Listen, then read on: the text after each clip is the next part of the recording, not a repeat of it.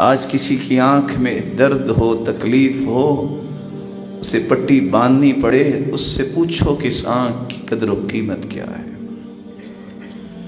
अल्लाह जलाल फरमाते हैं, जो इस कुरान से एराज करता है, दुनिया में उसकी आँखें जितनी भी खूबसूरत होंगी, उसको अंधा करके हम उठाएँगे। और वो कहेगा, या रब ए मेरे रब लिमा हशरतनी आमा कद कुन तो बसीरा अल्लाह दुनिया में तो मेरी आँखें थी मुझे अंधा क्यों किया गया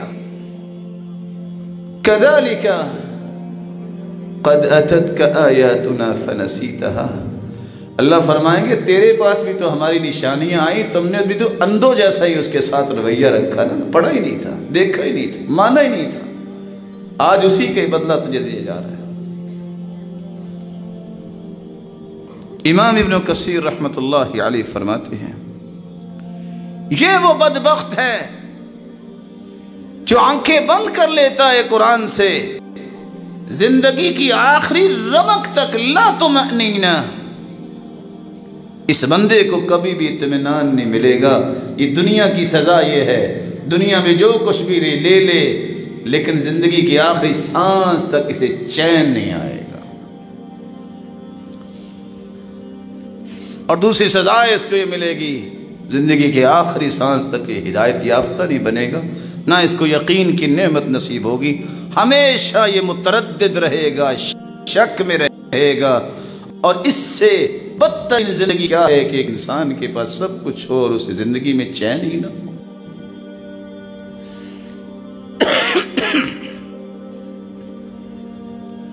इसलिए अल्लाह जलाल ने एक तीसरी बात भी बयान की है। ये अल्लाह जलाल के कुरान से राज करने वाले, मुँह मोड़ने वाले, ये तो जानवरों से बदतर है। जिस तरह जानवरों को शेर नज़र आए तो किस तरह न देखते हैं पानी है आगे, न देखते हैं आग के आगे, छलांगे लगा के दौड़ जाते हैं। ये तो जानवरों से भी बदतर हैं जो कुरान से एराज करने वाले इसलिए अल्लाह जलाल ने एक चौथी सजा भी ऐसे लोगों की बयान की है। कुरान से जो मुँह मोड़ने वाला होता है, अल्लाह उस पर एक शैतान मुसलत कर देते हैं। और जिसके साथ शैतान लग गया, इससे बुरा दोस्त को नहीं, ऐसे शख्स से साथ लगने वाला भी शैतान ही होगा। और आप जानते हैं, फिर शैतान क्या क्या काम करवाएगा उससे?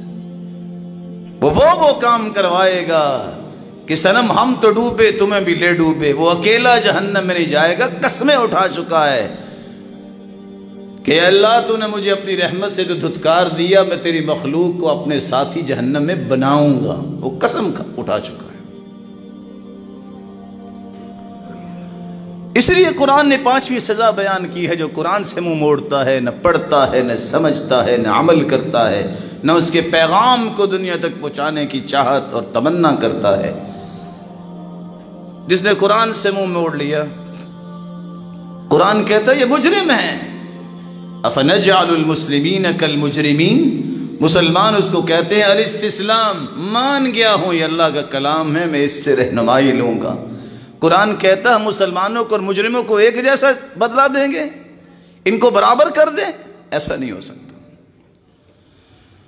ये सिर्फ़ मुजरिम नहीं, इन्ना मिनल मुजरिमीन मुंतकीमून हम इनसे इंतकाम भी लेंगे। दो चीज़ें। मुजरिम तो है ही है। इनसे इंतकाम अल्लाह दुनिया में भी लेगी और आखिरत में भी लेंगे। और अल्लाह हजूल जलाल ने एक छठी बात भी बयान कर दी।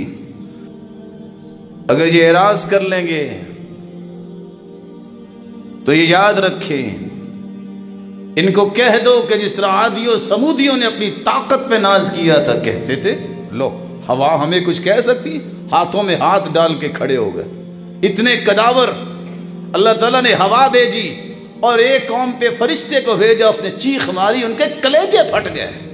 और हवा आई जो पत्थरों को कुरेद कुरेद कर उन्होंने जब उस सखर बिलवान जो उन्होंने महल्ला तैयार किए थे, हवा निकाल निकाल के उन्हें मारती थी। कन्नहुम आजाज नखलिन खाविया, जो अपनी ताकत पे मान करने वाले थे, उनकी लाशें इस तरह पड़ी थी जैसे खजूर के तने पड़े होते हैं। अल्लाह से ज़ोर आजमाई नहीं करते। अल्लाह जलाल के निज़ाम से ताकत आजमाई नहीं करते। वो बहुत बड़ा बादशाह है।